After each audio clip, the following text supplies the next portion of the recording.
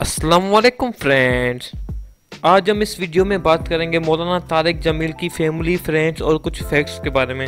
मौलाना तारिक जमील का जन्म फ़र्स्ट अक्टूबर 1953 में पाकिस्तान के शहर मुल्तान में हुआ था और मौलाना तारिक जमील तबलीगी जमात का एक मेंबर है। मौलाना तारिक जमील पेशे से प्रीचियर रिलीजियस राइटर और एक स्कॉलर भी है। और मौलाना तारिक जमील ने दो हज़ार बाईस में प्राइड ऑफ़ परफॉर्मेंस का अवार्ड भी जीता। और दोस्तों, मौलाना तारिक जमील की फ्रेंड्स और फैमिली की बात की जाए तो मौलाना तारिक जमील के दो बेटे हैं, जिनके नाम मौलाना आसिम जमील और मौलाना यूसुफ जमील हैं। और मौलाना तारिक जमील का बेस्ट फ्रेंड जुनेद जमशेद भी था। और पाकिस्तान के प्राइम मिनिस्टर इमरान खान भी मौलाना तारिक जमील के दोस्त हैं। और बॉलीवुड के बेस्ट एक्टर आमिर खान भी मौलाना तारिक जमील का फॉलोअर है। और पाकिस्तान के कई फ़ेमस एक्टर भी मौलाना तारिक जमील के फॉलोअर्स हैं, जिनमें फिरोज खान, इमरान अब्बास और दानिश तैमूर भी मौलाना तारिक जमील के फॉलोअर्स हैं। दोस्तों, पाकिस्तान के कई फ़ेमस क्रिकेटर भी मौलाना तारिक जमील के फॉलोअर्स हैं।